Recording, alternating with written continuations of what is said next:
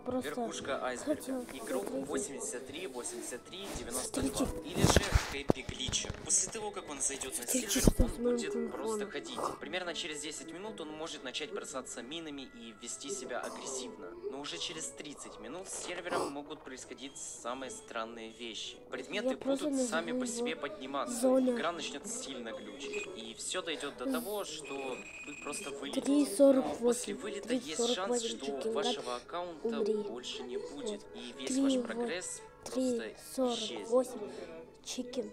Страшная курица. Chicken Сама по себе умер. она не такая уж и страшная. И даже не опасная. Ведь все, что она умеет, это пугать и убивать игроков. Чтобы призвать страшную курицу, нужно поставить Просто тотем и пару свечей вокруг зайти. него. И тогда у вас будет маленький шанс на ее появление. Курица просто- названия можно понять, что это Я тот просто- самый призрак, который вылетает из каждого чикена после его смерти. Да, мы видим это каждый Вот. день на каждом сервере. Но некоторые игроки заявляли, что видели этих призраков.